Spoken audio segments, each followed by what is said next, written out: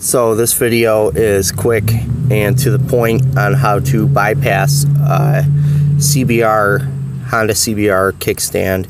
Basically you got three wires. Um, the yellow one indicates to the motorcycle when the kickstand is down and the green and white one indicates when it is up.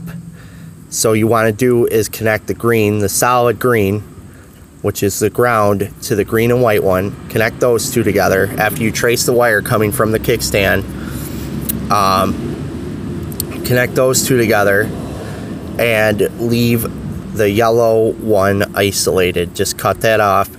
Once you connect these two together, look up at your at your um, your dash or whatever, your instrument cluster, and if this S is not lit up, you've done it correctly. So, yeah.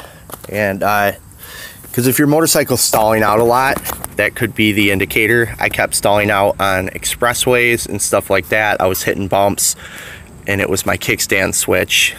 Um, now this is this is coming from the kickstand right here. You want to connect it on the other side. So I cut the wires, bam, and connected them together going to the motor all right hopefully hopefully this is helpful and there's no stupid intro